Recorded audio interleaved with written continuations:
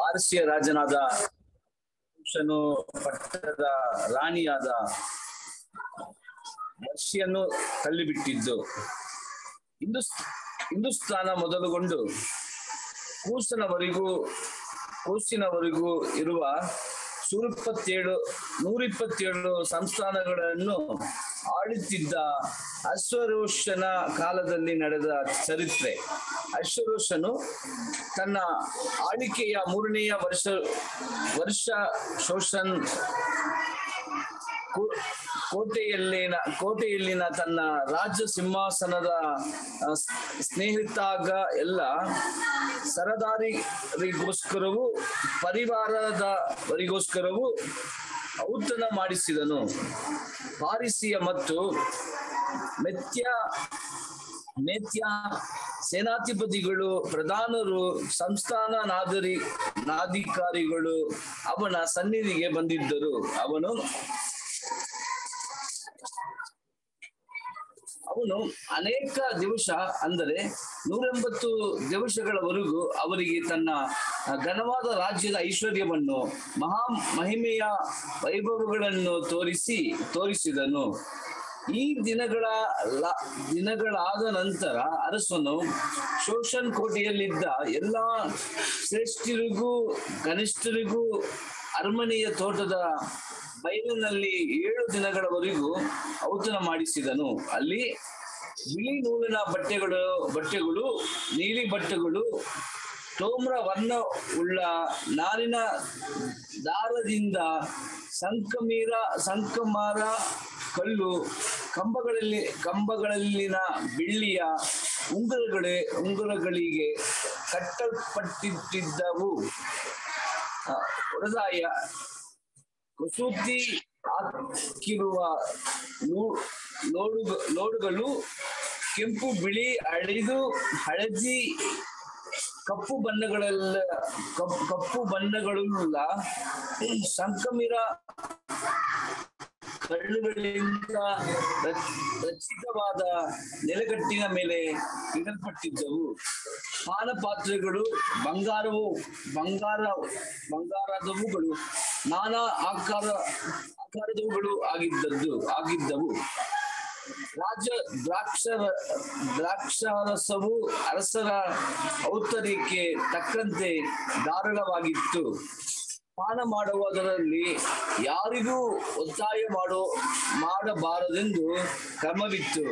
ಪ್ರತಿಯೊಬ್ಬನಿಗೂ ಅವನವನ ಇಷ್ಟದಂತ ಕೊಡಬೇಕೆಂದು ರಾಜನು ತನ್ನ ಎಲ್ಲಾ ಮನೆ ವಾರ್ತೆಯು ವಾರ್ತೆಯುವರಿಗೆ ಆಜ್ಞಾಪಿಸಿದ್ದನು. ವಸ್ತ್ರ ರಾಣಿಯು ಅಶ್ವೇ ರೂಪ್ ರಾಜನ ಅರಮನೆಯಲ್ಲಿ ಸ್ತ್ರೀಗಳಿಗೋಸ್ಕರ ಔತಣ ಮಾಡಿಸಿದಳು. ಏಳನೆಯ ದಿನದಲ್ಲಿ ಅರಸನಾದ ಅಶ್ವರುಷ್ಯನು ದ್ರಾಕ್ಷ ರಸ ಪಾನ ಮಾಡಿ ಆನಂದ ಆನಂದಲ ಹರಿಯಲಿದ್ದಾಗ ಬಹು ಸುಂದರಿಯಾದ ರಾಣಿಯ ಸೌಂದರ್ಯವನ್ನು ಅದು ಓನ ಜಾನ ಬ್ರದರ್ ಜನರಿಗೂ ಕರೆಕ್ಟ್ ಜನರಿಗೂ ಬ್ರದರ್ ತೋರಿಸಬೇಕೆಂದು ತನ್ನ ಸಾನ್ ತನ್ನ ಸಾನ್ನಿಧ್ಯ ಸೇವಕರಾದ ಮಹೋಮಾನ್ ಬಿಜೇತ ಬ್ರದರ್ ಬಹಳ ಸೌಂಡ್ ಕಡಿಮೆ. ಓಕೆ ಒಂದ್ ನಿಮಿಷ. ಆತ್ರ ಹತ್ರ ಓದ್ತೀನಿ. ಬಿಜೇತ ಅರ್ಗುಣ ಬೀಗಿ ಬೀಗಿ ಬಿಗೇತ ಅಭಯಗೇತ ಚೇತರ್ ಕರ್ಕಸ್ ಎಂಬ ಏಳು ಮಂದಿ ಕಂಚುಕಿಗಳಿಗೆ ವರ್ಷರಾಣಿಯು ರಾಜ ಮುಕುಟವನ್ನು ತರಿಸಿಕೊಂಡು ರಾಜ ಸನ್ನಿಧಿಗೆ ಬರಬೇಕೆಂದು ಬರಬೇಕೆಂಬುದಾಗಿ ಹೇಳಿ ಹೇಳಿರಿ ಎಂದು ಆಜ್ಞಾಪಿಸಿದನು. ಕಂಚುಕಿಗಳು ತಿಳಿ ತಿಳಿಸಿದ ರಾಜಾಜ್ಞೆಗೆ ವಷ್ಟಿ ರಾಣಿಯು ಬರುವ ಬರುವುದಿ ಬರುವುದಿಲ್ಲ ಬರುವುದಿಲ್ಲ ಎಂದು ಉತ್ತರ ಕೊಟ್ಟಳು. ಇದರಿಂದ ಅರಸನು ಬಹು ಕೋಪಗೊಂಡು ರೌದ್ರವೇಶನಾದನು thank you brother thank you brother Amrutha sister ನೀವು ಕಂಟಿನ್ಯೂ ಮಾಡಿ ಸಿಸ್ಟರ್ ಹದಿಮೂರನೇ ವಚನದಿಂದ ಇಪ್ಪತ್ತೆರಡನೇ ವಚನ ತನಕ. ಓಕೆ ಬ್ರದರ್ ವಿಧಿನ್ಯಾಯಗಳನ್ನು ಬಲ್ಲವರೆಲ್ಲರ ಮುಂದೆ ಅರಮನೆಯ ಸಂಗತಿಗಳನ್ನು ಇಡುವ ಪದ್ಧತಿ ಇತ್ತು. ಅರಸನಾದ ಅಷ್ಟೇರೋ ರೋಷನ ಒಡ್ಡೋಲಗದಲ್ಲಿ ರಾಜ ಸಾನ್ನಿಧ್ಯ ಸೇವಕರು ರಾಜ ಸಭಾ ಪ್ರಧಾನರು ಆಗಿದ್ದ ಕರ್ಷೇನ, ಶೇತಾರ್ ಅದ್ಮಾತ ತರ್ಫಿಶ್ ಮೆರೆಸ್, ಮರ್ಸೇನಾ, ಮೆಹಕಾನ್ ಎಂಬ ಏಳು ಮಂದಿ ಪಾರಸೀಯ ಮತ್ತು ಮೇದ್ಯ ಪ್ರಭುಗಳಿದ್ದರು. ಅವ ಅವನು ಸಮಯೋಚಿತಾಜ್ಞ, ಸಮ, ಸಮಯೋಚಿತಾಜ್ಞವುಳ್ಳವರಾದ ಇವರನ್ನು ಕಂಚುಕ್ಕಿಗಳ ಮುಖಾಂತರ ತನಗುಂಟಾದ ರಾಜಾಜ್ಞೆಯನ್ನು ಕೈಗೊಳ್ಳದೆ ಹೋದ ವಷ್ಟಿರಾಣಿಗೆ ನಿಯಮದ ಪ್ರಕಾರ ಮಾಡತಕ್ಕದ್ದೇನು ಎಂದು ಕೇಳಲು ಮೆಮೋಖಾನನು ಅರಸನ ಮತ್ತು ಸರದಾರರ ಮುಂದೆ ವಷ್ಟಿರಾಣಿಯ ಅಪರಾಧವು ಅರಸನೊಬ್ಬನಿಗೆ ವಿರುದ್ಧವಾದದ್ದಲ್ಲ. ಅರಸನಾದ ಅಹಷ್ಟಾರೋಷನಿಗೆ ಸೇರು, ಸೇರಿಸುವ ಎಲ್ಲ ಸಂಸ್ಥಾನಗಳ ಸರದಾರರಿಗೂ ಜನರಿಗೂ ವಿರುದ್ಧವಾದದ್ದು. ರಾಣಿಯ ನಡತೆಯು ಎಲ್ಲ ಸ್ತ್ರೀಯರಿಗೂ ಗೊತ್ತಾಗಿ ಅವರು ತಮ್ಮ ಗಂಡಂದಿರನ್ನು ತಿರಸ್ಕರಿಸುವುದಕ್ಕೆ ಕಾರಣವಾಗುವುದು. ಅರಸನಾದ ಆಸ್ಟೆರೋಷನು ವಷ್ಟಿರಾಣಿಗೆ ಬರಬೇಕೆಂದು ಹೇಳಿ ಕಳುಹಿಸಿದಾಗ ಆಕೆಯು ಹೋಗಲಿಲ್ಲವಲ್ಲ ಹೋಗಲಿಲ್ಲವಲ್ಲ? ಅನ್ನುವರು. ರಾಣಿಯು ಮಾ, ರಾಣಿಯ ಮಾತನ್ನು ಕೇಳಿದ ಪರಸಿಯ ಮತ್ತು ಮೇದ್ಯ ಕುಲಿ, ಕುಲೀನ ಸ್ತ್ರೀಯರು ಈ ಹೊತ್ತೆ ಅದನ್ನು ಅರಸನ ಎಲ್ಲ ಸರದಾರರಿಗೂ ಹೇಳುವರು. ಹೀಗೆ ಎಷ್ಟು ತಿರಸ್ಕಾರವು ಕೋಪವು ಉಂಟಾಗುವುದು. ಅರಸನು ಸುಮ್ಮ ಸಮ್ಮತಿಸುವುದಾದರೆ ವಷ್ಟಿಯು ತೀರಿ, ತಿರುಗಿ ಆಸ್ಟೆರೋಷನ್ ರಾಜನ ಸನ್ನಿಧಿಗೆ ಬರಲೇಬಾರದೆಂಬ ರಾಜಾಜ್ಞೆಯು ಪ್ರಕಟವಾಗಿ ಅದು ಎಂದಿಗೂ ರದ್ದಾಗದ ಹಾಗೆ ಪಾರಸಿಯ ಮತ್ತು ಮೇದ್ಯ ಶಾಸನಗಳಲ್ಲಿ ಲಿಖಿತವಾಗಲಿ. ಅರಸನು ಆಕೆಯ ಪಟ್ಟವನ್ನು ಆಕೆಗಿಂತ ಉತ್ತಮಳಾದ ಇನ್ನೊಬ್ಬಾಕೆಗೆ ಕೊಡಲಿ. ಈ ರಾಜ ನಿರ್ಣಯವು ಬಹು ವಿಸ್ತಾರವಾದ ಅವನ ರಾಜ್ಯದಲ್ಲೆಲ್ಲ ಗೊತ್ತಾದಾಗ ಶ್ರೇಷ್ಠರು, ಕನಿಷ್ಠರು ಆದ ಎಲ್ಲ ಸ್ತ್ರೀಯರು ತಮ್ಮ ಗಂಡಂದರಿಗೆ ಮಾನ ಸಲ್ಲಿಸುವರು ಅಂದನು. ಈ ಮಾತು ಅರಸನಿಗೂ ಅವನ ಸರದಾರರಿಗೂ ಒಳ್ಳೆಯದೆಂದು ಕಂಡದ್ದರಿಂದ ಅರಸನು ಮೇಮೋಕಾನನ ಮಾತಿನಂತೆಯೇ ಮಾಡಿದನು. ಅವನು ಪ್ರತಿಯೊಂದು ಕುಟುಂಬದಲ್ಲಿ ಪುರುಷನೇ ಒಡೆಯನಾಗಿದ್ದು ಅವನ ಸ್ವಜನರ ಭಾಷೆಯೇ ಉಪಯೋಗವಾಗಬೇಕೆಂಬುದಾಗಿ ಎಲ್ಲ ರಾಜ ಸಂಸ್ಥಾನಗಳಲ್ಲಿ ಪತ್ರಗಳ ಮೂಲಕ ಪ್ರಕಟಿಸಿದನು.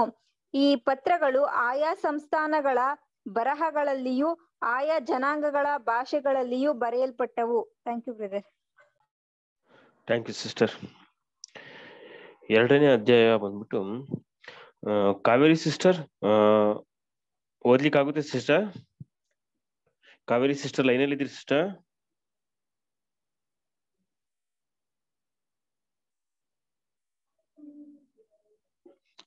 ಕಮಲಮ್ಮ ಸಿಸ್ಟರ್ ಓದ್ತೀನಿ ಬ್ರದರ್ ಓದ್ತೀರಾ ಸಿಸ್ಟರ್ ಎರಡನೇ ಅಧ್ಯಾಯ ಒಂದನೇ ವಚನದಿಂದ ಹನ್ನೊಂದನೇ ವಚನ ತನಕ ಓದಿ ಸಿಸ್ಟರ್ ಹ್ಮ್? ಬಂದ್ಬಿಟ್ಟು ಕಾವೇರಿ ಸಿಸ್ಟರ್ ಕಾವೇರಿ ಸಿಸ್ಟರ್ ನೀವು ಆ ಎರಡನೇ ಅಧ್ಯಾಯ ಹನ್ನೆರಡನೇ ವಚನದಿಂದ ಹದಿನೆಂಟನೇ ವಚನ ತನಕ ಓದ್ಲಿಕ್ಕಾಗುತ್ತೆ ಸಿಸ್ಟರ್ ಓಕೆ ಬ್ರದರ್ ಓದ್ತೀವಿ. ಓಕೆ ಸಿಸ್ಟರ್ ಓದಿ sister next Padma sister line ಅಲ್ಲಿ ಇದೀರಾ sister Padma sister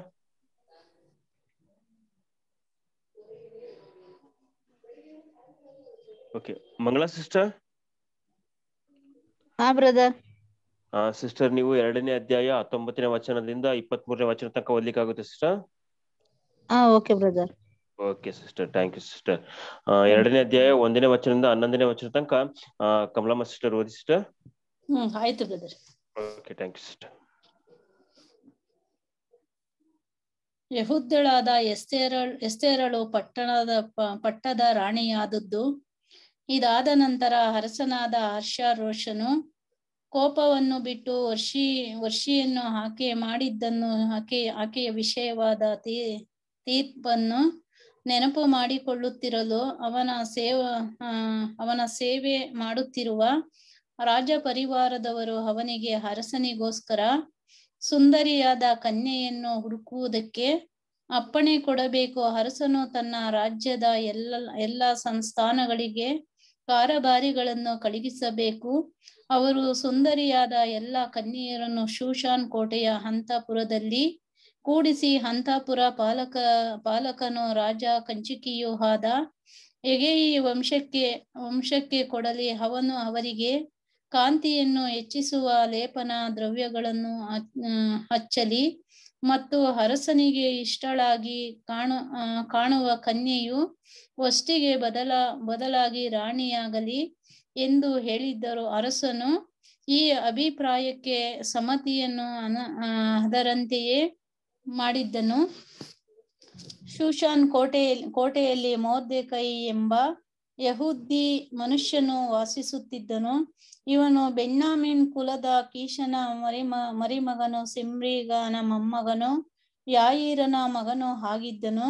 ಬಾಂಬೇಲಿನ ಅರಸನಾದ ಎಂಬಕಾದ್ ನೇಚಾರನು ನೇಚಾರನಿಂದ ಯಹುದ್ದ ರಾಜನಾದ ಯೋಹಾಯ ಕೀಮನೊಡನೆ ಸೆರೆಯ, ಸೆರೆಯೊಯ್ದ ಒಯ್ಯಲ್ಪಟ್ಟವರಲ್ಲಿ ಇವನೊಬ್ಬನು ಇವನ, ಇವನು ಎಸ್ತೇರಳೆಂಬ ಹೆಸರನ್ನು ಪಡೆದು, ಆ ಆದೇಶ ಆದೇಶ ಎಂಬ ತನ್ನ ಚಿಕ್ಕಪ್ಪನ ಅನಾಥಳಾದ ಮಗಳನ್ನು ತಂದೆ ತಾಯಿಗಳು, ತನ್, ತಂದೆ ತಾಯಿಗಳು ಸತ್ತಂದನಿಂದ ಪುತ್ರಿಯಾಗಿ ಸ್ವೀಕರಿಸಿ ಸಾಕುತ್ತಿದ್ದ, ಸಾಕುತ್ತಿದ್ದನು. ಈಕೆಯು ರೂಪವತಿಯು ಲಾವಣ್ಯವತಿಯೂ ಆಗಿದ್ದಳು. ಅರಸನ ನಿರ್ಣಯವು ಆಚೆ, ಆಜ್ಞೆ, ಆಜ್ಞೆಯು ಪ್ರಕ ಪ್ರಕಟಿಸಲ್ಪಟ್ಟು ಕಾರಬಾರಿಗಳು ಅನೇಕ ಅನೇಕ ಕನ್ಯೆಯ ಕನ್ಯೆಯರು ಕೂಡಿಸಿ ಶೂಶಾನ್ ಕೋಟೆಯಲ್ಲಿ ಎಗೈ ವಶ, ವಶಕ್ಕೆ ಒಪ್ಪಿಸಿದ್ದಾಗ ಎಸ್ತೇರಳು ಅರಮನೆಗೆ ತರ ತರಲ್ಪಟ್ಟ ಅಂತಾಪುರ ಪಾಲಕನಾದ ಎಗೈ ಪಾರ ಪರಂಬರಿಕೆಯಲ್ಲಿ ಇದ್ದಳು. ಎಗೆಯು ಆಕೆ, ಆಕೆಯು ಹೆಚ್ಚಿಸಿ ಹೆಚ್ಚಿಸಿ ತನ್ನ ದಯೆಗೆ ಪಾತ್ರಳಾದ ಆಕೆಗೋಸ್ಕರ ತನ್ನ ಲೇಪನ, ಲೇಪನಗಳನ್ನು, ಭೋಜನಾಂಶವನ್ನು ಹಾರಿಸಿದ್ದ ಏಳು ಏಳು ಮಂದಿ ಸೇವಕಿಯರನ್ನು ಅರಮನೆಯಿಂದ ಬೇಗನೆ ಏರ್ಪಡಿಸಿ ಆಕೆಯನ್ನು, ಆಕೆಯ ಸೇವಕಿಯರನ್ನು ಅಂತಾಪುರದ ಉತ್ತರ ಭಾಗದಲ್ಲಿ ಭಾಗದಲ್ಲಿ ಇರಿಸಿದ್ದನು. ಎಸ್ತೇರಳು, ತಾನು ಇಂಥ ಜನಾಂಗದವಳು, ಇಂಥ ಕುಲದವಳು ಎಂಬುದನ್ನು ತೋರ್ಪಡಿಸಿಕೊಳ್ಳಲಿಲ್ಲ. ಕೈ ಹೀಗೆ ಅಪ್ಪಣೆ ಕೊಟ್ಟದ್ದನ್ನು ಅವನು ಆಕೆಯ ಆ- ಆಕೆಯ ಆಕೆಯ ಈಗಿನ ಸ್ಥಿತಿಯನ್ನು ಮುಂದಿನ ಸ್ಥಿತಿಯ ವಿಚಾರ ವಿಚಾರ ವಿಚಾ, ವಿಚಾರಿಸುವುದಕ್ಕಾಗಿ ಪ್ರತಿದಿನವೂ ಹಂತಾಪುರದ ಪ್ರಕಾರ, ಪ್ರಕಾರದ ಮುಂದೆ ತಿರುಗಾಡುತ್ತಿದ್ದನು. Thank you brother thank you sister Kaveri sister continue ಮಾಡಿ ಸಿಸ್ಟರ್ ಹನ್ನೆರಡನೇ ವಚನದಿಂದ ಹದಿನೆಂಟನೇ ವಚನ ತನಕ ಸಿಸ್ಟರ್ ಓಕೆ ಬ್ರದರ್ ಕನ್ಯೆಯರ ಲೇಪನ ಕಾಲವು ಪೂರೈಸುವುದಕ್ಕೆ ಗಂಧರಸ ಪ್ರಯೋಗದಲ್ಲಿ ಆರು ತಿಂಗಳು ಪರಿಮಳ ದ್ರವ್ಯ, ಕ್ರಾಂತಿವರ್ಧಕ ದ್ರವ್ಯಗಳ ಪ್ರಯೋಗದಲ್ಲಿ ಆರು ತಿಂಗಳು ಅಂತೂ ಹನ್ನೆರಡು ತಿಂಗಳು ಕಳೆದವು. ಆ ಕಾಲ ಮುಗಿದ ನಂತರ ರಾಷ್ಟ್ರ ಸ್ತ್ರೀಯರ ವಿಷಯವಾದ ನಿಯಮ ನಿಯಮದ ಮೇರೆಗೆ ತನ್ನನ್ನು ಸಿದ್ಧಪಡಿಸಿಕೊಂಡು ಪ್ರತಿಯೊಬ್ಬನು ಕನ್ಯೆಯು ಅರಸನಾದ ಅಹ್ ಅಹರ್ಷೇಶ್ವರೋಷನ ಬಳಿಗೆ ಹೋಗುವರು. ಅರಸ, ಅರಸನ ಬಳಿಗೆ ಹೋಗುವ ಸರತಿ ಯಾವಾಕೆಗೆ ಬರುವುದೋ ಆಕೆಯು ಅಂತಹ ಪುರದಿಂದ ಅರಮನೆಗೆ ತೆಗೆದುಕೊಂಡು ಹೋಗುವುದಕ್ಕೋಸ್ಕರ ಏನು ಕೇಳಿದರೂ ಕೊಡಲ್ಪಟ್ಟಿದವರು. ಆಕೆ, ಆಕೆಯು ಅಲ್ಲಿಗೆ ಸಾಯಂಕಾಲವು ಸಾಯಂಕಾಲ ಹೋದವಳು. ಮರುದಿನ ಬೆಳಿಗ್ಗೆ ಅರಸನ ಉಪಪತ್ನಿಗಳ ಪಾಲಕನಾದ ಶವಜ್ಞಜನೆಂಬ ರಾಜ ಕಂಚುಗ ರಾಜ ಕಂಚುಕಿಯರ ವಶದಲ್ಲಿದ್ದ ಎರಡನೆಯ ಅಂತಃಪುರಕ್ಕೆ ಬರುವಳು. ಅರಸನು ಅವಳನ್ನು ಮೆಚ್ಚಿ ಹೆಸರು ಹೇಳಿ ಕರೆಸಿದನು. ಕರೆಸಿದರೆ ಹೊರತಾಗಿ ಒಬ್ಬಳು ಅರಸನ ಬಳಿಗೆ ತಿರುಗಿ ಹೋಗಲು ಆಗಿರಲಿಲ್ಲ. ಅರಸನ ಬಳಿಗೆ ಹೋಗುವುದಕ್ಕೆ ಮೊರ್ಚೆಕೈಯ ದತ್ತ ಪುತ್ರಿಯು ಅವನ ಚಿಕ್ಕಪ್ಪನಾದ ಹಬಿರೈಲನ ಮಗಳು ಆದ ಎಸ್ತರಳ ಸರತಿ ಬಂದಾಗ ಅಂತಃಪುರ ಪಾಲಕನಾದ ಹೆಗೈ ಎಂಬ ರಾಜಕುಂಚಕಿಯ ನೇಮಿಸಿದ್ದನ್ನೇ ಹೊರತು ಆಕೆ ಬೇರೇನು ಕೇಳಲಿಲ್ಲ. ನೋಡುವವರೆಲ್ಲರೂ ಆಕೆಯನ್ನು ಆಕೆಯನ್ನು ಮೆಚ್ ಮೆಚ್ಚುತ್ತಿದ್ದರು. ಅರಸನಾದ ಅಹಶೋರೋಷನ ಬಳಿಗೆ ಅವನ ಆಳಿಕೆ ಏಳನೆಯ ವರುಷದ ಹನ್ನೆರ, ಹತ್ತನೆಯ ತಿಂಗಳಾದ ಪುಷ್ಪ ಮಾಸದಲ್ಲಿ ಆಕೆಯನ್ನು ರಾಜಗ್ರಹಕ್ಕೆ ರಾಜಗ್ರಹಕ್ಕೆ ಕರೆತಂದನು. ಅರಸನು ಎಲ್ಲ ಸ್ತ್ರೀಯರನ್ನು ಎಸ್ತೇರಳನ್ನು ಮೆಚ್ಚಿದನು. ಎಲ್ಲ ಕನ್ಯೆಯರನ್ನು ಆಕೆಯು ಅವನ ದಯೆಗೂ, ಪ್ರೀತಿಗೂ ಪಾತ್ರಳಾದದ್ದರಿಂದ ಅವನು ರಾಜ ಮುಕುಟವನ್ನು ಆಕೆಯ ತಲೆಗೆ ಮೇಲಿಟ್ಟು ಆಕೆಯನ್ನು ವಷ್ಟಿಗೆ ವಷ್ಟಿಗೆ ಬ, ಬದಲಾಗಿ ರಾಣಿಯನ್ನಾಗಿ ಮಾಡಿಕೊಂಡು ತನ್ನ ಎಲ್ಲಾ ಸರದಾರರಿಗೆ ಪರಿವಾರದವರಿಗೂ ಎಸ್ತೆರಳ ಔತಣವೆಂಬ ದೊಡ್ಡ ಔತಣವನ್ನು ಮಾಡಿಸಿ ಎಲ್ಲಾ ಸಂಸ್ಥಾನಗಳಲ್ಲಿ ಸಂಸ್ಥಾನಗಳಲ್ಲಿಯೂ ಸೆರೆಯವರನ್ನು ಬಿಡಿಸಿ ರಾಜರಿಗೆ ತಕ್ಕಂತೆ ಉದಾರವಾಗಿ ದಾನ ಧರ್ಮಗಳನ್ನು ಮಾಡಿದನು thank you brother thank you sister Mangala sister continue ಮಾಡಿ ಸಿಸ್ಟರ್ Okay. ಹತ್ತೊಂಬತ್ತನೇ ವಚನದಿಂದ ಇಪ್ಪತ್ತ್ ಮೂರನೇ ವಚನ ತನಕ ಸಿಸ್ಟರ್ ಓಕೆ ಬ್ರದರ್ ಕನ್ಯರು ಎರಡನೆಯ ಸಾರಿ ಕೂಡಿಸಲ್ಪಟ್ಟಿ ಕೂಡಿಸಲ್ಪಟ್ಟಿರುವಾಗ ಮೆರ್ದಕೆಯು ಅರಮನೆಯ ಹೆಬ್ಬಾಗ್ ಹೆಬ್ಬಾಗಲಲ್ಲಿ ಕೂತುಕೊಂಡಿದ್ದನು ಎಸ್ತರಳ, ಎಸ್ತರಳಾದರೋ ಮೊರ್ದೆಯನ, ಮೊರ್ದೆಕೆಯ ಪರಂಪರಿಕೆಯಲ್ಲಿದ್ದ ದಿನಗಳಲ್ಲಿ ಹೇಗೋ ಹಾಗೆ ಈಗಲೂ ಅವನ ಆಜ್ಞೆಯನ್ನು ಅನುಸರಿಸುವಳಾಗಿ ತಾನು ಇಂಥ ಕುಲದವಳು, ಇಂಥ ಜನಾಂಗದವಳು ಎಂಬುದನ್ನು ತೋರ್ಪಡಿಸಲಿಲ್ಲ. ಆ ದಿನಗಳಲ್ಲಿ ಮೆರ್ದಕ್ಕೆಯು ಅರಮನೆಯ ಹೆಬ್ಬಾಗಲಲ್ಲಿ ಕೂತುಕೊಂಡಿದ್ದಾಗ ಅರಮನೆಯ ದ್ವಾರಪಾಲಕರಾದ ಬಿಗೆತನ್ ತೆರೆಸ್ ಎಂಬ ಇಬ್ಬರು ರಾಜ ಕುಂಚು, ರಾಜ ಕಂಚುಕಿಯರು ಕೋಪವುಳ್ಳವರಾಗಿ ಅರಸನಾದ ಅಹ್- ಅಹಸ್ಯರನಿಗೆ ವಿರೋಧವಾಗಿ ಕೈ ಎತ್ತಬೇಕೆಂದು ಒಳ್ಳೆ ಸಂಚು ಮಾಡಿದರು. ಈ ಸಂಗತಿಯು ಮುರ್ದೆಕೆಗೆ ಗೊತ್ತಾದಾಗ ಅವನು ಅದನ್ನು ಎಸ್ತರ, ಎಸ್ತರ್ ರಾಣಿ ರಾಣಿಗೆ ತಿಳಿಸಿದನು. ಆಕೆಯು ಅವನ ಹೆಸ್, ಹೆಸರನ್ನು ಅರಸನಿಗೆ ಹೇಳಿ ಆ ಸಂಗತಿಯನ್ನು ತಿಳಿಸಿದಳು. ಈ ವಿಷಯವು ವಿಚಾರಣೆಗೆ ಬಂದಾಗ ಅದು ನಿಜವೆಂದು ಸ್ಥಾಪನೆಯಾದದ್ದರಿಂದ ಆ ಇಬ್ಬರನ್ನು ಗಲ್ಲಿಗೆ ಹಾಕಿದರು. ಆ ಸಂಗತಿಯು ರಾಜನ ದಿನಾಚಾರ್ಯ ಪುಸ್ತಕದಲ್ಲಿ ಬರೆಯಲ್ಪಟ್ಟಿತು thank you brother. Thank you sister.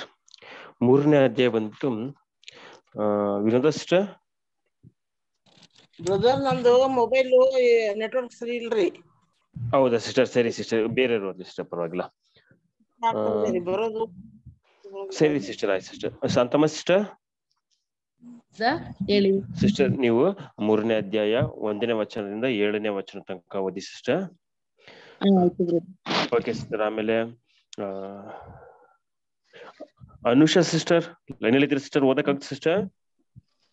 Anusha ಅಲ್ಲ ಸಾಗರ್ದದು ಫ್ಯಾಕ್ಟ್ರಿಲಿ ಇದ್ದಾನೆ ಬ್ರದರ್ ಹೌದಾ ಸಿಸ್ಟರ್? ಮತ್ತೆ ಸಿಸ್ಟರ್ ಈಗ ನಿಮ್ ಸೊಸೆ ಓದುತ್ತಾ ಸಿಸ್ಟರ್? ಔಷಧಿ ಬಗ್ಗೆ ಹೇಳ್ತಿದ್ರ ಅಪ್ಪಗ. ದಯವಿಟ್ಟು ಎಲ್ಲ ಬ್ರದರ್ಸ್ ಅಂಡ್ ಸಿಸ್ಟರ್ಸ್ ಮ್ಯೂಟ್ ಮಾಡ್ಕೊಂಬಿಡಿ. ಓಕೆ ಹಾ. ಶಾಂತಮ್ಮ ಸಿಸ್ಟರ್? ಸಿಸ್ಟರ್ ಮೂರನೇ ಅಧ್ಯಾಯ ಒಂದನೇ ವಚನದಿಂದ ಹದಿನೈದನೇ ವಚನ ತನಕ ಫುಲ್ ಅಧ್ಯಾಯ ಕಂಪ್ಲೀಟ್ ಮಾಡ್ಬಿಡಿ ಸಿಸ್ಟರ್ ಓಕೆ ಒಂದರಿಂದ ಹದಿನೈದು ತನಕ ಹದಿನೈದು ವಚನ ಅಷ್ಟೇ ಇದೆ ಸಿಸ್ಟರ್ ಅದನ್ನ ಮಾಡೋಣ ಬೇಕಾದ್ರೆ ಕಳಿಸ್ರಿ ಅಲ್ವರ? ಬಸವರಾಜ್ ಬ್ರದರ್ ಮ್ಯೂಟ್ ಮಾಡ್ಕೊಂಬಿಡಿ ಬ್ರದರ್. ದಯವಿಟ್ಟು ಎಲ್ಲಾ ಬ್ರದರ್ಸ್ ಸಿಸ್ಟರ್ಸ್ ಮ್ಯೂಟ್ ಮಾಡ್ಕೊಂಡು ಅರಸನಾದ ಸಂಬಂಧ ಬಂದ ಹಾ? ನಂತರ ಅರಸನಾದ ಅಷ್ಟರೋಷನು ಆಗನ ವಂಶದವನು ಅಲ್ಲ ಬಂದಂದ್ರ ಬೆನ್ನೆಳೆಗ್ ಇಳಿದು ಬಿಟ್ರ ಪಟ್ಟನ್ ನಾವ್ ನಮಗ್ ಫೋನ್ ಮಾಡಿದ್ರ ಅಲ್ಲಿ ಹಿಂಗ್ ಬರ್ದಂಗ್ ನಾವ್ ಕಾಯ್ತಿರ್ತೀವಿ. ಎಲ್ಲಾ ಸರದಾರರಲ್ಲಿ ಅವನಿಗೆ ಹೌದ್ರಾ? ಪ್ರಥಮ ಸ್ಥಾನವನ್ನು ಪ್ರಥಮ ಸ್ಥಾನವನ್ನು ಅನುಗ್ರಹಿಸಿದ್ದನು. ಅರಸನು ರಾಜವಂಶದವರಲ್ಲಿ ನಮ್ದೇನಂದ್ರ ಜರ್ನಿ ಮಾಡಕ್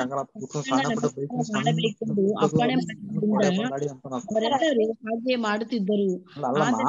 ಆತರ ಲಾಂಗ್ ಜರ್ನಿ ಹೆಂಗ್ ಅಂತ ನಾನು ಮಾಡಿ. ಹ್ಮ್. ಬಸವರಾಜ್ ಬ್ರದರ್? ಹಂಗ್ ಮಾಡಿದ್ರ ದಯವಿಟ್ಟು ಮ್ಯೂಟ್ ಮಾಡಿ ಬ್ರದರ್. ಸಾಷ್ಟಾಂಗ ನಮಸ್ಕಾರ ಮಾಡಲಿಲ್ಲ. ರಾಜಾಜ್ಞೆಯು ಆ ಹಂತದಲ್ಲಿ ರಾಜ ರಾಜ ಸೇವಕರು, ನೀನು ರಾಜಾಜ್ಞೆಯನ್ನು ಮೀರುವುದೇಕೆ ಎಂದು ಹೇಳಿ ದಿನ ಪ್ರತಿ ಅವನನ್ನು ಎಚ್ಚರಿಸಿದ್ದರು ಅವನು, ಆ ಮಣಿಯಲಿಲ್ಲ. ಅದರಿಂದ ಅವರು ತಾನು ಯಹೂದ್ಯನನ್ನು ಮೋರ್ದಕೈ ಹೆಮ್ಮೆ ಹುಟ್- ಹುಟ್ಟಿಸುವ ಸಾಗು, ಆ ನೋಡೋಣ ಏನೆಂದುಕೊಂಡು ಅದನ್ನು ಅಮಾನನಿಗೆ ತಿಳಿಸಿದ್ದರು. ಮೋರ್ದ ಕೈ ತನಗೆ ಸಾಷ್ಟಾಂಗ ನಮಸ್ಕಾರ ಮಾಡುವುದಿಲ್ಲವೆಂದು ಅಮ್ಮನನ್ನು ನೋಡಿ ಬಹು ಕೋಪವುಳ್ಳವನಾದನು.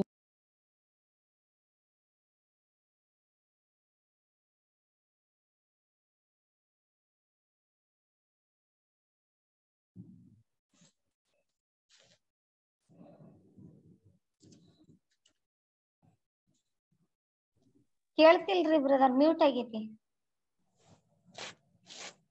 ಆ, ಶಾಂತಮ್ಮ ಸಿಸ್ಟರ್ ನಿಮ್ದು ನ್ಯೂಟ್ ಆಗಿದೆ ಸಿಸ್ಟರ್ ಅನ್ಮ್ಯೂಟ್ ಮಾಡ್ಕೊಳ್ಳಿ. ಅನ್ಮ್ಯೂಟ್ ಮಾಡ್ಕೊಂಡು ಓದಿ. ಮೋರ್ದಕೈ, ತನಗೆ ಸಾಷ್ಟಾಂಗ ನಮಸ್ಕಾರ ಮಾಡುವುದಿಲ್ಲವೆಂದು ಹಮಾನನು ನೋಡಿ ಬಹು ಕೋಪವುಳ್ಳವನಾದನು. ಅವನು ಮೋರ್ದಕ ಎಂಬನ ಮೇಲೆ ಕೈ ಎತ್ತುವುದು ಸಾಲದಂದೆಣಿಸಿ ಇವನು ರಾಜಾಜ್ಞೆ ರಾಜನಾಗ್ ಹೇಳಿದ ಮೇಲೆ, ಹಾ, ಅಷ್ಟಾರೋಷನು ರಾಜ್ಯದಲ್ಲಿದ್ದ ಮೋರ್ದಕೈ ಬಂದು ಬಂಧುಗಳನ್ನು, ಅಂದರೆ ಎಲ್ಲಾ ಯೋಧ್ಯರನ್ನು ಸಂಹರಿಸಬೇಕೆಂದು ನಿರ್ಣಯಿಸಿಕೊಂಡನು. ಅರಸನಾದ ಅಷ್ಟರೋಷನ ಆಳ್ವಿಕೆ ಹನ್ನೆರಡನೇ ವರ್ಷದ ಮೊದಲನೇ ತಿಂಗಳಾದ ಚೈತ್ರ ಮಾಸದಲ್ಲಿ ಹಮಾನನ ಮುಂದೆ ಶು- ಶುಭ್ರ ಶುಭಮಾನವು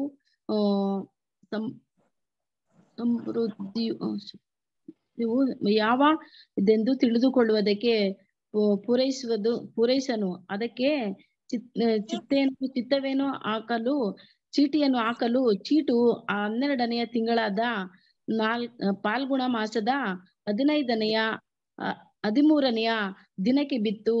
ಹಮಾನನು ಅರಸನಾದ ಅಷ್ಟರೋಷನಿಗೆ ನಿನ್ನ ರಾಜ್ಯದ ಎಲ್ಲಾ ಸಂಸ್ಥಾನಗಳಲ್ಲಿ ಒಂದು ಭಾಗ, ಒಂದು ಜನಾಂಗ ಇರುತ್ತದೆ. ಅದು ಇತರರ ಜನಾಂಗದವರ, ಇತರರ ಜನಾಂಗವರುಗಳವರ ಮಧ್ಯದಲ್ಲಿ, ಆ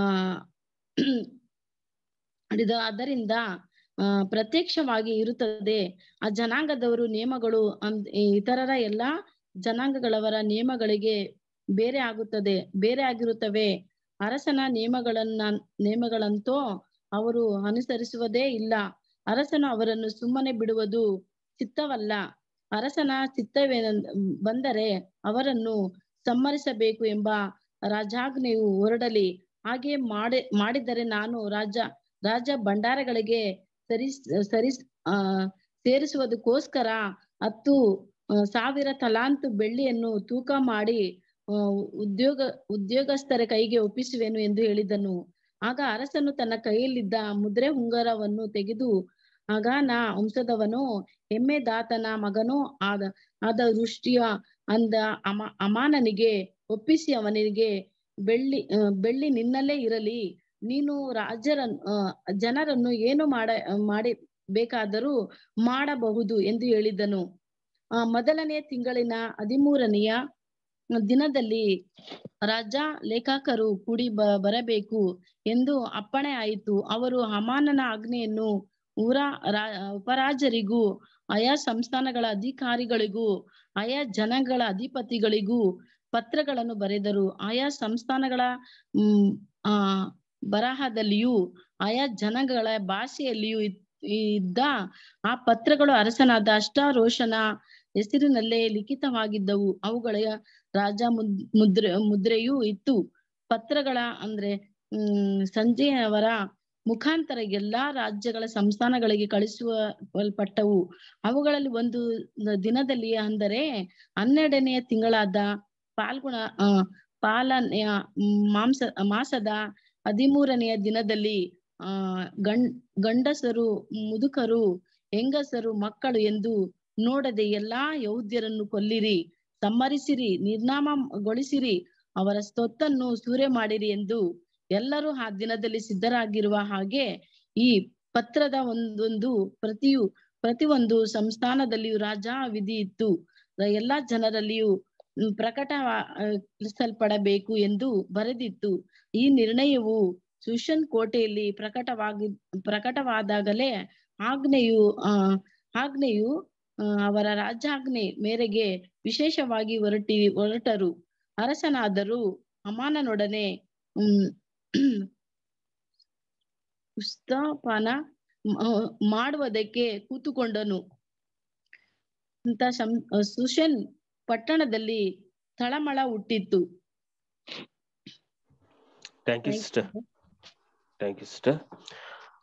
ನಾಲ್ಕನೇ ಅಧ್ಯಾಯ ನಾಲ್ಕನೇ ಅಧ್ಯಾಯ ಬಂದ್ಬಿಟ್ಟು Manjula sister Ravi brother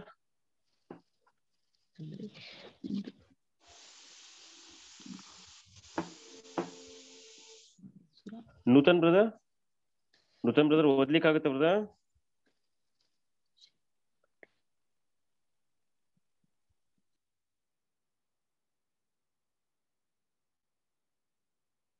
Kumar brother Kumar brother line ಅಲ್ಲಿ ಇದೀರಿ ಬ್ರದರ್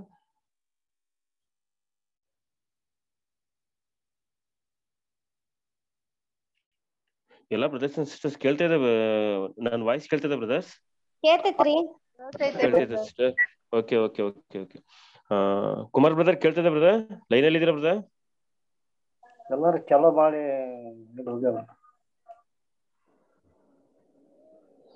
ಅವ್ರು ಹೆಡ್ಫೋನ್ ಹಾಕೊಂಡಿರ್ಬೋದ್ರಿ ಹೊರಗಿರ್ಬೋದು ಅವ್ರು. ನೂತನ್ ಬ್ರದರ್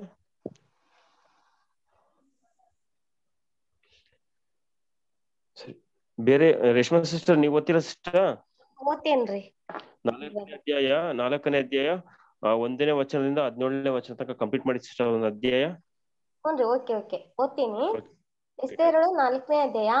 ಅರಸನ ಹತ್ತಿರ ಹೋಗಿ ಯಹೂದ್ಯರಿಗೋಸ್ಕರ ಭಿನ್ನಹ ಮಾಡುವುದಕ್ಕೆ ಮೋರ್ದೈಕೈಯು ಎಸ್ತೇರಳನ್ನು ಸಮ್ಮತಿಪಡಿಸಿದ್ದು. ಮೋರ್ದೈಕೈಯು ನಡೆದದ್ದನ್ನೆಲ್ಲ ಕೇಳಿದಾಗ ಬಟ್ಟೆಗಳನ್ನು ಹೊರಕೊಂಡು ಗೋಣಿ ತಟ್ಟನ್ನು ಕಟ್ಟಿಕೊಂಡು ಬೂದಿಯನ್ನು ಹಾಕಿಕೊಂಡು ಪಟ್ಟಣದ ಮಧ್ಯದಲ್ಲಿ ಹೋಗುತ್ತಾ ದುಃಖ ದುಃಖಾತಿಶಯದಿಂದ ಗೋಳಾಡಿ ಅರಮನೆಯ ಹೆಬ್ಬಾಗಿಲಿನ ಮುಂದೆ ಬಂದನು. ಗೋಣಿ ತಟ್ಟು ಕಟ್ಟಿಕೊಂಡವರು ಒಳಗೆ ಹೋಗಬಾರದೆಂದು ಅಪ್ಪಣೆಯಾಗಿತ್ತು.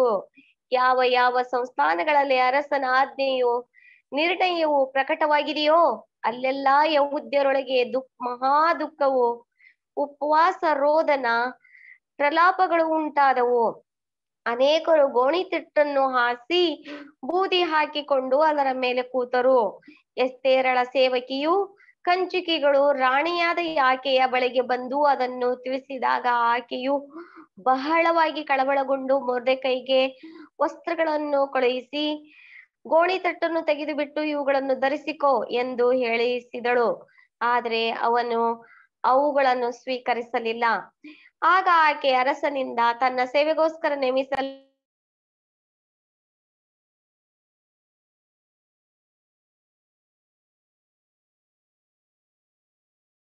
ಕಂಚುಕಿಯನ್ನು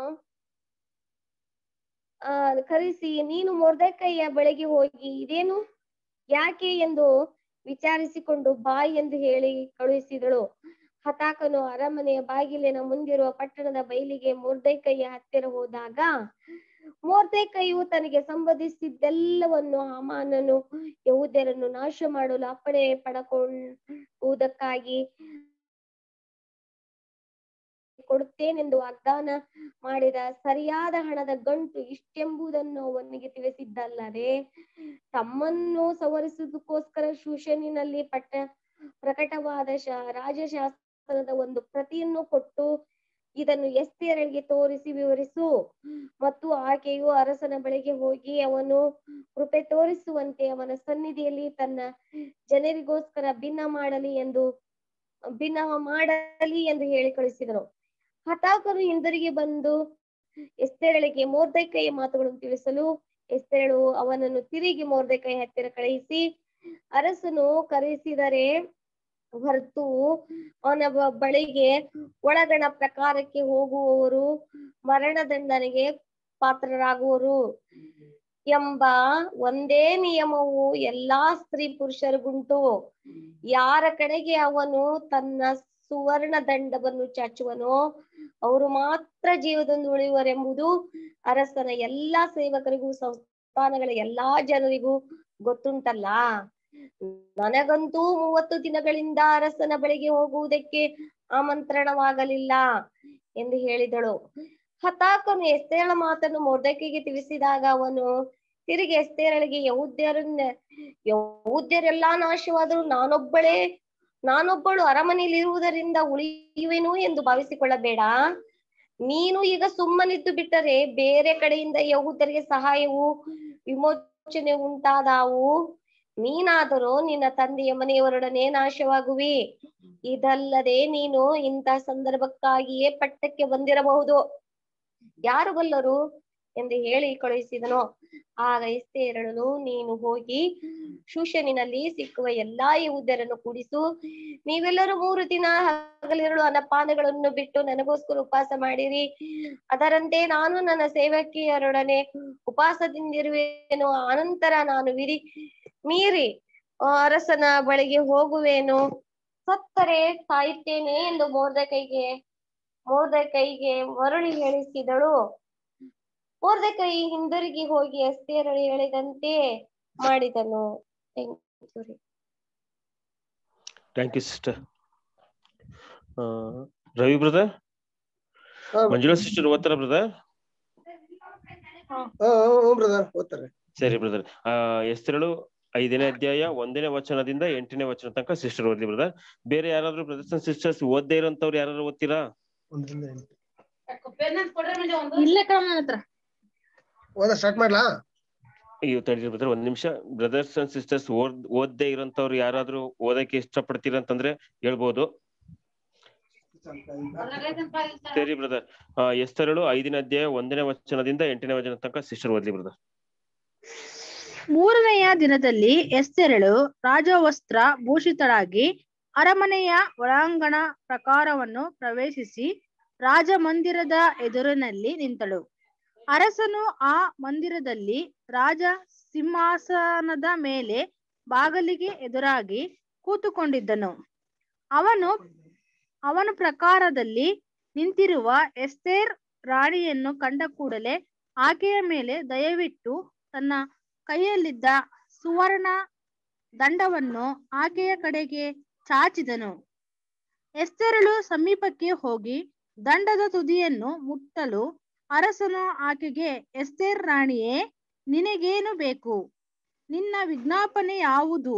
ನನ್ನ ಅರ್ಧ ರಾಜ್ಯವನ್ನು ಕೇಳಿದರೂ ನಿನಗೆ ಕೊಡುತ್ತೇನೆ ಅಂದನು. ಅದಕ್ಕೆ ಎಸ್ತೆರಳು ಅರಸನ ಚಿತ್ತಕ್ಕೆ ಬಂದರೆ ನಾನು ಇವತ್ತು ತಮಗೋಸ್ಕರ ಸಿದ್ಧ ಮಾಡಿಸಿರುವ ಔತಣಕ್ಕೆ ಹಾಮಾನನೊಡನೆ ಬರೋಣವಾಗಲಿ ಎಂದು ಹರಕೆ ಮಾಡಿದಳು. ಕೂಡಲೇ ಅರಸನು ಎಸ್ತಿರಳ ವಿಜ್ಞಾಪನೆಯನ್ನು ನೆರವೇರಿಸುವುದಕ್ಕೆ ಆಮಾನನ್ನು ತ್ವರೆ, ತ್ವರೆಪಡಿಸಿರಿ ಎಂದು ಅಪ್ಪಣೆ ಮಾಡಿದನು. ಮತ್ತು ಎಸ್ತಿರಳು ಮಾಡಿಸಿದ ಔತಣಕ್ಕೆ ಆಮಾನನ ಜೊತೆಯಲ್ಲಿ ಹೋದನು. ದ್ರಾಕ್ಷಾರಸ ಪಾನ ಮಾಡುವಾಗ ಅರಸನು ತಿರುಗಿ ಎಸ್ತಿರಳಿಗೆ, ನಿನ್ನ ವಿಜ್ಞಾಪನೆ ಯಾವುದು? ಹೇಳು ಅಂದನು. ನೆರೆ ಹೇಳು, ಅದನ್ನು ನೆರವೇರಿಸುವೆನು. ನೀನು ನನ್ನ ಅರ್ಧ ರಾಜ್ಯವನ್ನು ಕೇಳಿಕೊಂಡರೂ ಸರಿಯೇ, ಅದನ್ನು ನಿನಗೆ ಕೊಡುವೆನು ಅನ್ನಲು. ಎಸ್ತೆರಳು, ಅರಸರು ನನ್ನ ಮೇಲೆ ಕಟಾಕ್ಷವಿಟ್ಟು ನಾನು ಕೇಳುವುದನ್ನು ಕೊಡುವುದಕ್ಕೂ ನನ್ನ ವಿಜ್ಞಾಪನೆಯನ್ನು ನೆರವೇರಿಸುವುದಕ್ಕೂ ಮನಸ್ಸುಳ್ಳವರಾಗಿದ್ದಾರೆ. ನಾನು ತಮಗೋಸ್ಕರ ಸಿದ್ಧ ಮಾಡಿ, ಸಿದ್ಧ ಮಾಡಿಸುವ ಔತಣಕ್ಕೆ ನಾಳೆಯೂ ಆಮನನ ಜೊತೆಯಲ್ಲಿ ಬರೋಣವಾಗಲಿ. ಆಗ ಅರಸರು ಹೇಳಿದಂತೆ ಮಾಡುವೆನು ಇದೇ ನನ್ನ ಮನವಿ ಎಂದು ಉತ್ತರ ಕೊಟ್ಟಳು. Thank you brother brother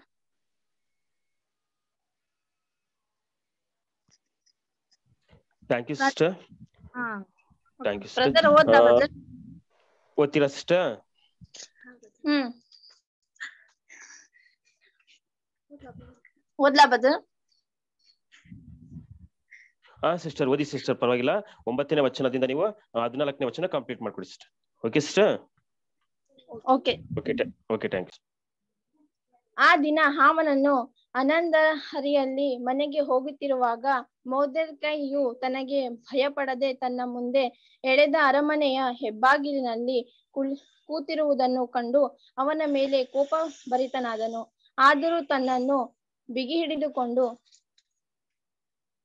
ಮನೆಗೆ ಹೋಗಿ ತನ್ನ ಆಪ್ತರನ್ನು, ಪ್ರತಿಯಾದ ಜರಸಳನ್ನು ಕರೆಸಿ ಅವರ ಮುಂದೆ ತನ್ನ ಘನೈಶಯಗಳನ್ನು ಪುತ್ರ ಪುತ್ರ ಲಾಭ ಶಿಶಿಯವರನ್ನು ಅರಸನು ತನ್ನನ್ನು ಸನ್ಮಾನಿಸಿ ಎಲ್ಲಾ ಸರದಾರರಲ್ಲಿಯೂ, ರಾಜಸೇವಕರಲ್ಲಿಯೂ ತನಗೆ ಶ್ರೇಷ್ಠ ಸ್ಥಾನವನ್ನು ಅನುಗ್ರಹಿಸಿದ್ದನ್ನು ವರ್ಣಿಸಿದ ಮೇಲೆ ಅಹಹ ಎಸ್ತರಲ್ ರಾಣಿಯು ತಾನು ಸಿದ್ಧ ಮಾಡಿಸಿದ ಔತಣಕ್ಕೆ ಅರಸನ ಜೊತೆಯಲ್ಲಿ ತನ್ನ ನನ್ನನ್ನು ಹೊರತಾಗಿ ಎನ್ನಾರನ್ನು ಕಳಿಸಲಿಲ್ಲ. ನಾಳೆಯೂ ಅವ ಅರಸನ ಜೊತೆಯಲ್ಲಿ ಬರಬೇಕೆಂದು ನನಗೆ ಹೇಳಿದ್ದಾರೆ. ಆದರೂ ಮುರ್ದಕ್ಕ ಎಂಬ ಯಹೂದ್ ಯಹೂದ್ಯರ, ಯಹೂದ್ಯನು ಅರಮನೆಯ ಬಾಗಿಲಿನಲ್ಲಿ ನನ್ನ ಕಣ್, ಕಣ್ಣು ಮುಂದೆ ಕೂತಿರುವವರೆಗೂ ಇದಲ್ಲದರಿಂದಲೂ ನನಗೆ ತೃಪ್ತಿಯಾಗುವುದಿಲ್ಲ ಅಂದನು.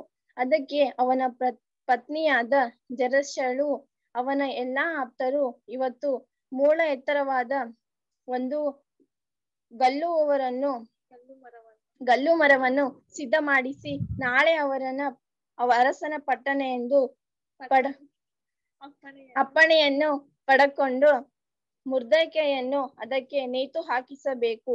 ಆಮೇಲೆ ನೀನು ಸಂತೋಷದಿಂದ ಅರಸನ ಜೊತೆಯಲ್ಲಿ ಔತಣಕ್ಕೆ ಹೋಗಬಹುದು ಎಂದು ಹೇಳಿದನು. ಹಾಮನನು ಈ ಮಾತಿಗೆ ಮೆಚ್ಚಿಗೊಳ್ಳು ಮರವನ್ನು ಸಿದ್ಧ ಮಾಡಿಸಿದನು thank you brother thank you sister ಪ್ರೀತಿಯ ಸಹೋದರ ಸಹೋದರಿ ಇಲ್ಲಿ ತನಕ ನೀವು ತಾಳ್ಮೆಯಿಂದ ವಚನವನ್ನ ಕೇಳಿದ್ರಿ ಮತ್ತು ತಾಳ್ಮೆಯಿಂದ ವಚನವನ್ನ ಓದಿದಕ್ಕಾಗಿ ನಿಮ್ಮೆಲ್ಲರಿಗೂ ಕೃತಜ್ಞತೆಯನ್ನ ಸಲ್ಲಿಸುತ್ತೇನೆ.